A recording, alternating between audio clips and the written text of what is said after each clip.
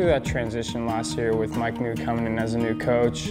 I think it went really well, or as well as it could have gone. I think Mike really set a good team morale, which the guys kind of molded to. Guys were ready to play every day and just wanted to win baseball games. That was our biggest thing, and it helped us uh, have a great season. This program's been through a lot, a lot of big leaguers. I mean, like you said, the first College World Series win, and then comes to 2011, we almost lose our program, and I think that bonded everybody a little bit more with the donors and the foundation, and it's just a little bit more extra we get to play for. The Cal Baseball Foundation is um, amazing. You know, you don't have that at many other schools. It's pretty amazing to see uh, this many people come together to prolong a, a program like us.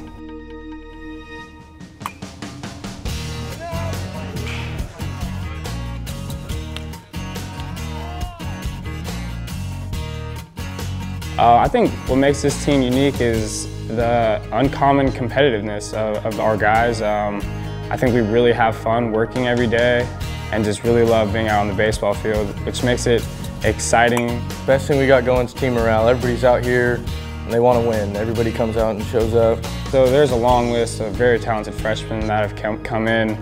Um, 13 new freshman arms that I've been dealing with they are super talented and they are just ready to work every single day, which is all we can really ask for. They're not shy, they're not shying away from uh, competing with the older guys, which, um, which is huge. We're just ready to go. It's good energy and makes it fun to be a Bear and come out and play every day for a good crowd. I, I'm, I'm eager to just go out there and play every single day with these guys. Go Bears.